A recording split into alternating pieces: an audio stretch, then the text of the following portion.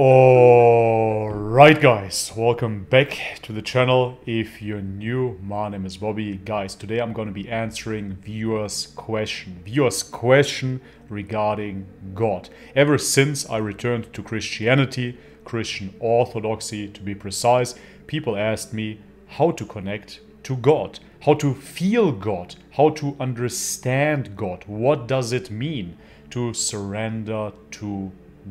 So, in today's video, I want to clarify this question because I can relate to it very, very well.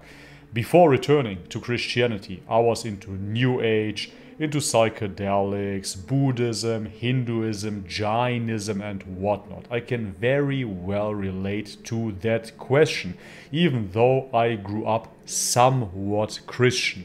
My parents are from Macedonia, by default. I was Christian Orthodox. I was baptized as a baby, but I never looked into Christian Orthodoxy. Quite the opposite. I turned my back on it and I thought that the wisdom must lay in Buddhism, in Hinduism, in Eastern philosophy, in Terence McKenna, in Alan Watts and whatnot. I was sure that Christianity cannot be the answer. That stuff is too old, that is something from the past. It is here to control the masses. It is all a cult, brainwashing, so on and so forth. I even discussed it here on this channel and said, man, if I want to experience mushrooms, I just take some mushrooms. If I want to understand ayahuasca, I just drink some ayahuasca. If I want to understand LSD, I just pop a tab. It is very straightforward. It is very easy to comprehend how to understand God. I was struggling with it. But guys, the answer is pretty easy. From a Christian perspective, we all know what we have to do. We all know what we have to do in order to connect to God. Jesus said, I am the way and the truth and the life. No one comes to the Father except through me. What does it mean? As Christians, we cannot connect to God without Jesus. It is that simple. And that is something that I was struggling with. Coming from the New Age, coming from Buddhism, Hinduism, I believed that I am God. Man is God, and everybody can internalize and actualize God in themselves, within themselves. They can become God in this creation. They can become an enlightened master, just as the Buddha and even Jesus was an enlightened master. He was not the Son of God, he was channeling God. He was becoming God in this creation. He was a Kundalini yoga master, right? He was a shaman. That was Jesus, and therefore he was just a man, and therefore I can do the same thing. The exact same thing is possible for me. Here, little me, Bobby, I can transcend just like Leo from actualized.org. I can transcend and self actualize and become God. And then I can have a bigger YouTube channel, God's perspective on YouTube. How amazing is that? And you can do it too.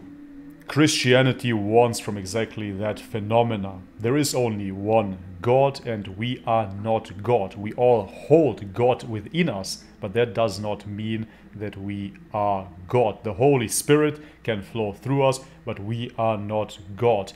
Only Jesus is the begotten Son. He is the only begotten Son, and we can find our way to the Lord only through Him. There is no other way. So, now, enough ranting. What does that mean in practical terms?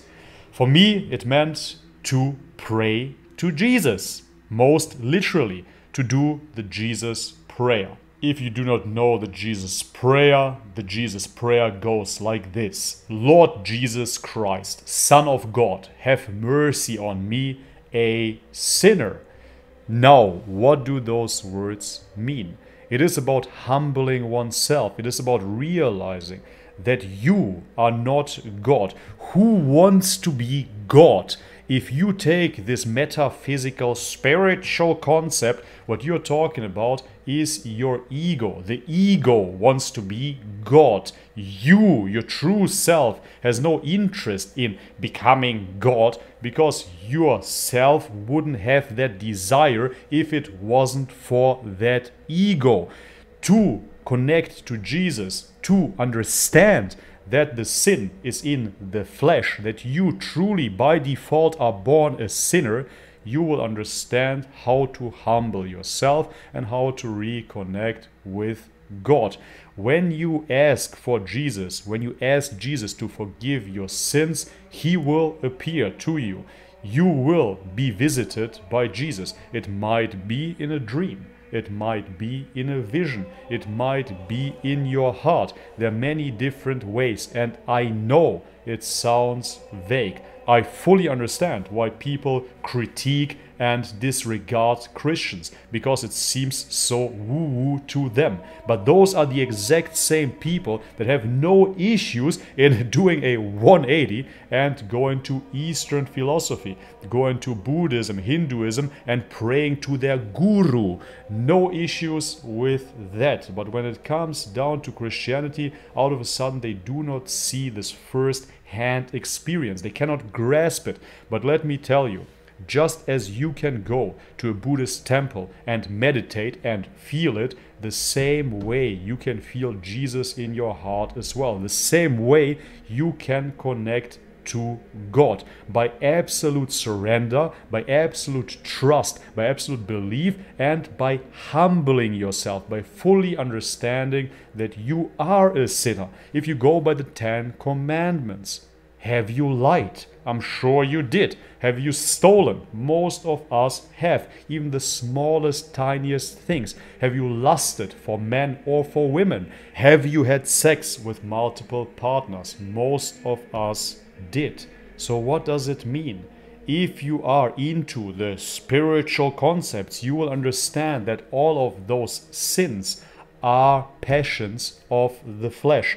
All of those sins are desires of your body. Every time you follow those desires, you're disconnecting from God. God is metaphysical, God is non physical, the Alpha and the Omega. How can you connect to something non physical through physicality? The more you get into comfort, the more you get away from God. This is why fasting practices work. This is why asceticism works. Comfort is the enemy of the Lord. Comfort is the enemy of God. Comfort is the enemy of communion and connection to the Lord. Why is that so? Because every time you feel comfortable, you lose that non physical connection. So, again, I went on an epic rant here. How do we connect to God?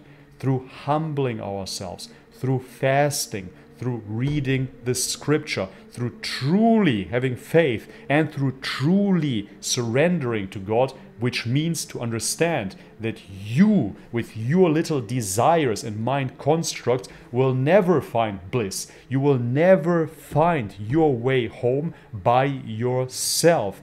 You assume that by following your desires, you will accomplish anything in this life. That is ludicrous. Where is a creation, there is a creator. It is that simple. Nobody would assume now, staring at their phones or at their computers, that there is no creator behind those things. Nobody would assume that me, hello, how did I come to this world? With no parents, with no father, with no mother. There is always a creator behind a creation. But all of a sudden, we take the miracle of the Big Bang. Even Terence McKenna said it science operates under one premise, grant us one miracle, and we explain the rest. Give us the Big Bang, boom! Nothingness, right? Something out of nothing. And now we're gonna explain the rest. That is ridiculous.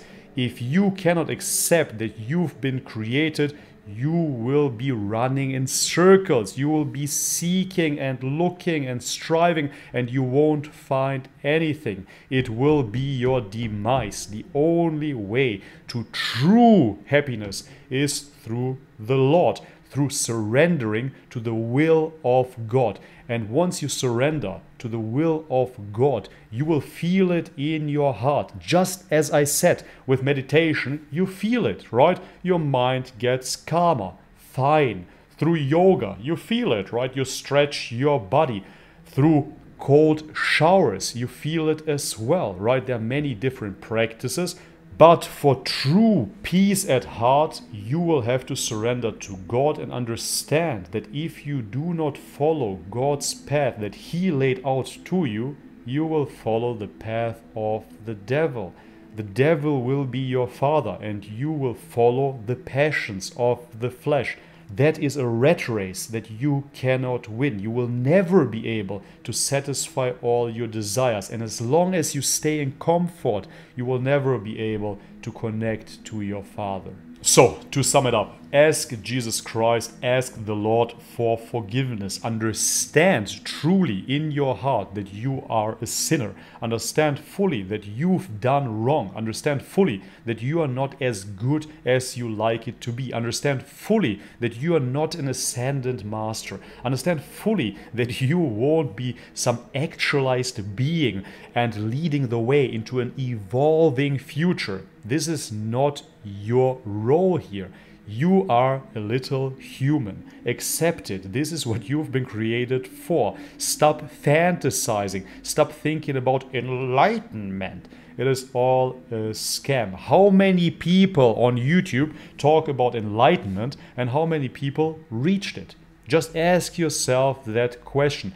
Jed McKenna wrote a beautiful book, Spiritual Enlightenment, the Damnedest Thing, and he describes beautifully how many people are in the business of enlightenment and how many people truly deliver. If enlightenment is your business, shouldn't you have many disciples that are all enlightened? If your business is bodybuilding, how many transformations did you create, right? How many clients did you change? What happened there? If you cannot deliver, you're not in the right business.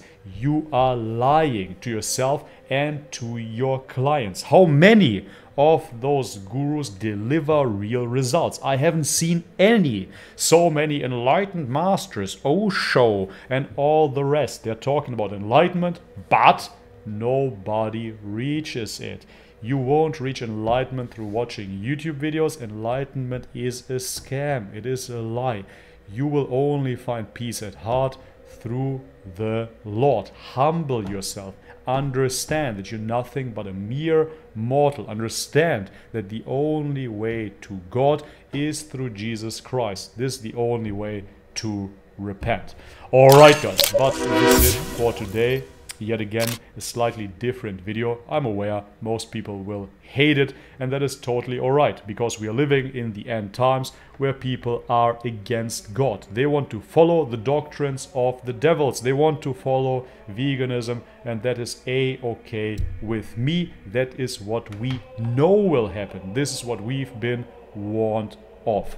Anyways guys, for the people of you that like the video, leave it a thumbs up. If you haven't subscribed already, hey, please do so. And if you want to support the channel, all the links are in the description box below. If you want raw grass-fed liver, but you cannot stand the taste, Grassland Nutrition has the solution. Grassland Nutrition takes grass-fed organic beef liver raw and freeze dries it for you. It is a convenient, fantastic way to get the nutrition of liver without the taste. We have Amazon links for you. You can head over there, buy whatever you might want to buy, and it doesn't cost you anything extra. We get a small share. That is a fantastic way to support Bobby's perspective. If you want grass fed beef, delivered to your doorstep, butcher boxes for you. And we have CBD links as well. On top of that, guys, consider supporting Bobby's Perspective through Subscribestar or Patreon. We have a VIP community there where we have Skype group calls every single week where we can discuss any topic, no matter if it is health, lifestyle, or nutrition related. On top of that, by joining, you straight away receive your comprehensive nutrition guide. It is an ebook that teaches you the basics of nutrition but goes beyond as well and is catering to your personal goals, no matter if you're keto, primal, paleo or even raw. Alright, but this is it for today. Thank you very much for your support, guys. May God bless you, and as always, much love and peace.